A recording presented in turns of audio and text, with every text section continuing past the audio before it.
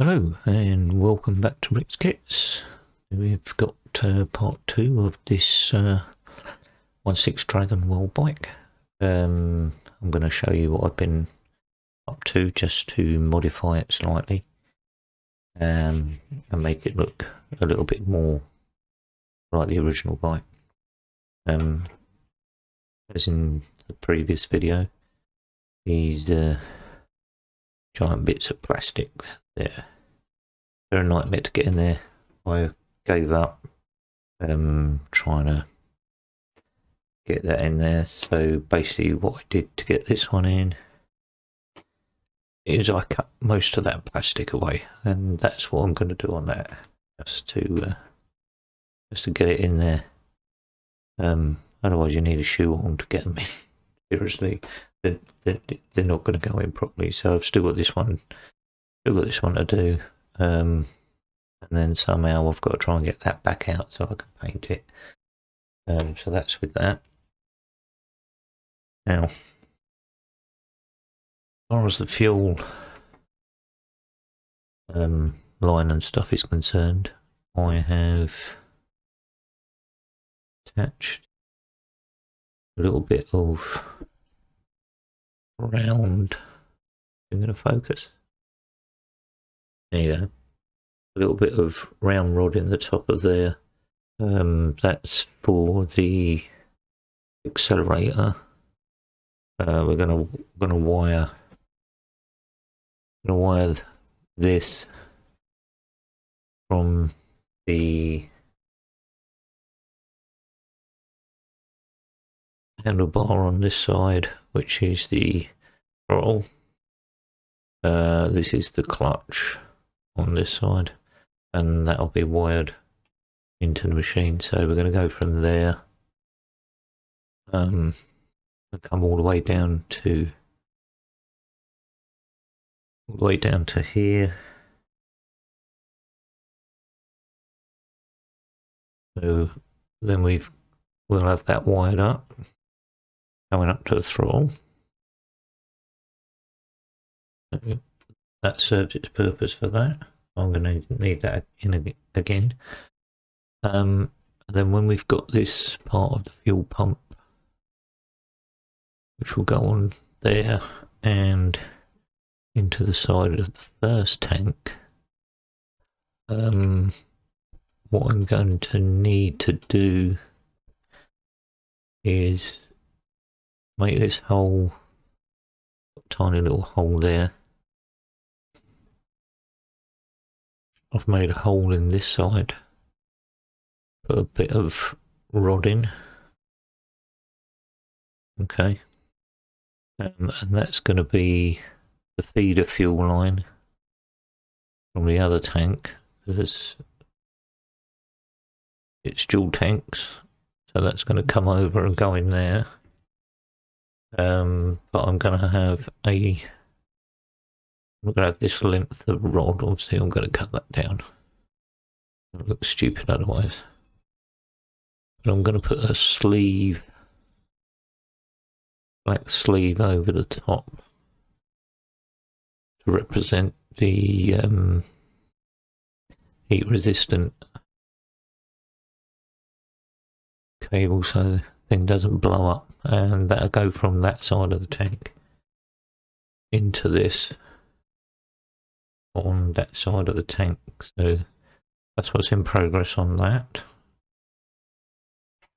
Then again, using um, this line, what I have done here, apart from tie it in a knot on that end, is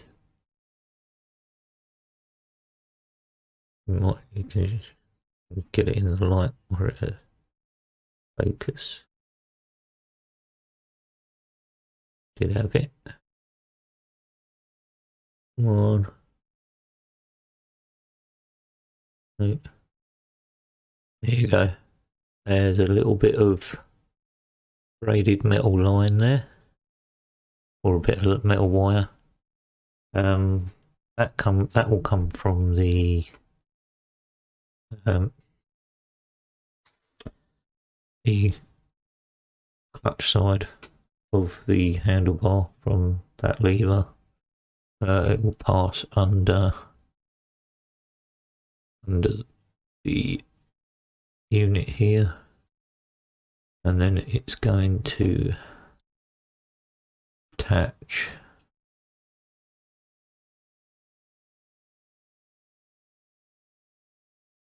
in there. You see it? It's going to attach just here to represent the clutch cable from the handlebar so that will be going on and then one last thing I've got the line here glued in that side of the unit which I think is a bit silly yet because I haven't painted it and that's going to go onto the old Sparky I think what I might do is I will cut that down, cut that down a little bit, and very similar to what I've done on the other piece with that metal braid, metal braided wire. I will get a piece of that put in there, and that will wrap around the spark plug on here. So that's where we're at. Uh, hopefully when I come back got something to show, you or maybe even the finished item. It's, I'll see you soon. Bye for now. Hey, welcome back. So, been busy with the paint, get it all together. So it's a nice green colour. The uh, proper green colour it should be a lot darker than this. This is um, this is uh, NATO green. Unfortunately, um, I didn't have any of the, dark green. But it's all painted up. Uh, some bits I've got to pick out on here. So I've got to paint the spark plug white. Um, the extra fuel line that goes down through there. Uh, I've got to paint that up silver. It comes out here. And then I've got to make the attachment using the um, tubing that I'm going to use to put over the top to connect that to fuel system. Um, then I've got to go around and uh, attach the clutch line and the throttle uh, from there to here and throttle from there to the top of the um, oh my god the fuel system with the small carburetor. So that's where we're at with that uh, the exhaust I need to do something with that because obviously it's not going to be it's not going to stay green when it's used. It's going to end up burning all the paint off. So got to get that done. Um, the seat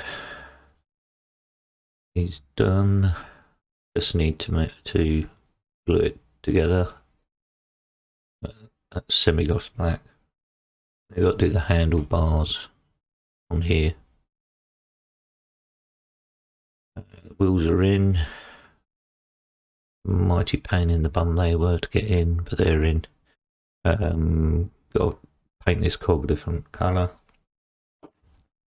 And uh, finally we've got to do the brass on the fuel system. And then I can put it together. So, see you in a bit. Hello, welcome back. Here she is uh, all completed. Now I'm going to say the only thing I didn't really like about this kit was them wheels, the rims, things going in. Goddamn nightmare. So, as I said before, I, I, I cut them down to fit, make them fit. It was the easiest option for me. Um, got arthritis in my hands and the last thing I'm trying to do is, is seize my fingers up trying to get things in. So um, even after cutting down, it uh, was still a bit of a nightmare. Um, so we've got. So what did I do? Um, I'll bring it up, try and get it as close to the camera as possible. You've got the clutch wire attached down here, comes up to the handlebar. We've got the throttle, comes down into the top of the fuel system, the carburetor. Um, turn it this way around. We've got the fuel line from the second tank going through to the fuel system. And we got the spark plug wire going through to I'm assuming it's the generator or or whatever it is. Nowadays it would be an, an alternator. Uh, the wires on for the braking system. This doesn't move unfortunately. It would have been nice but it doesn't move um, I've made made it so the wheels don't actually move as well because last thing I want any any of this stuff to do is to roll off the shelf. Uh, I went into the PE and pulled out a piece of PE and made a small uh, little brass bracket to hold hold that wire in place there so it didn't look uncomfortable. This was a bit, this is a bit weird, unfortunately, this one. Um, but I like it, it's good. Um, I can't move the seat up and down the way it should do because this rod on the seat doesn't quite fit into the tubing because you're supposed to be able to collapse the bikes down to into into storage as it would be inside the contain the drop pod container that it comes into. But the front end does uh, collapse up and uh, it moves them down in collapses down. I'm not going to demonstrate it because Dragon stuff can be a little bit finicky and break, but yeah. There she is, the 1.6 Dragon Dragon Welbike. Doesn't have a stand. That's the unfortunate, unfortunate thing on this, so you can't actually display it standing. It has to has to lie on its side yeah, I'm pleased with the result. Another one ticked off. Just like I say, it's just unfortunate certain things were not quite as they seem to be. Um, tiny little bit of weather, in, uh, well, I say weather in a, a bit of wear on there, so there you go. Thanks for watching. Thank you to all my subscribers, I old and new, appreciate you all. If you haven't subscribed and you're watching this, subscribe, it's free, doesn't cost you anything. I'll see you in the next one. Have a good rest of the week. See you soon. Take care.